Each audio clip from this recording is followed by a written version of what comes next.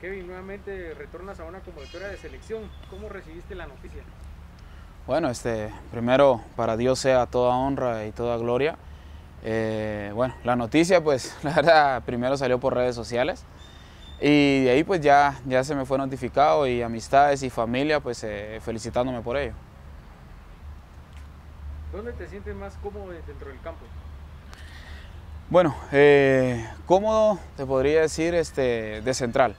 ¿Ya? Pero cuando es línea de tres, de igual forma marcador, ya sea por ambas, por izquierda o por derecha.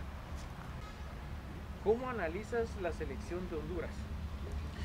Pues eh, no, si viendo partido a partido de ellos, sabemos que es una, una selección eh, fuerte, una selección pues que dentro de, del ámbito centroamericano pues ha crecido mucho su fútbol y se puede decir de que son fuertes, son rápidos y potentes.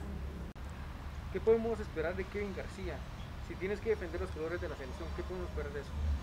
Bueno, este, te podría decir de que la garra, la gana, la entrega, pues la actitud, eh, siempre lo he dicho, la actitud es algo que no se puede negociar y el esfuerzo pues es algo muy importante dentro de la carrera de uno. ¿Cómo analizas la selección de Honduras?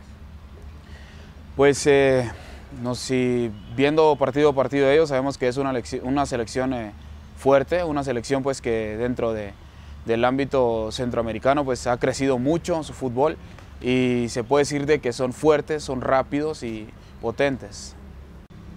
Kevin, ¿cómo manejan la presión debido a que los últimos dos resultados de la selección pues no han sido, digamos, eh, victorias?